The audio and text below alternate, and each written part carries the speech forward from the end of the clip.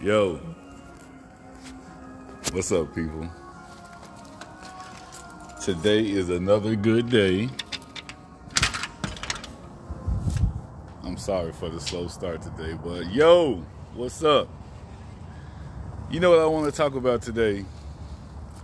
Today I want to talk about you, you, you, you, you, you dealing with other people's demons. What do I mean? So, what do I mean by you dealing with other people's demons? So, it could be your spouse, your boyfriend, your baby mama, your baby daddy, your husband, your wife, your mama, your son, your sister, your brother. But just think about um, problems. Think about drama think about things that happen and y'all got to figure it out. Y'all got to solve the problem.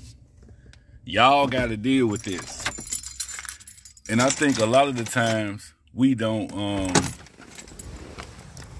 realize that this ain't my problem. This ain't our problem.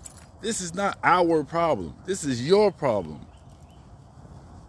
And I, I, I, see people all the time and they dealing with drama, they dealing with this and they dealing with that.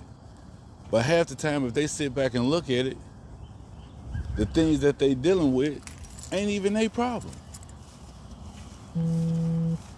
And a lot of people don't even realize that. So we need to think, am I the problem? Are you the problem? Or are we the problem?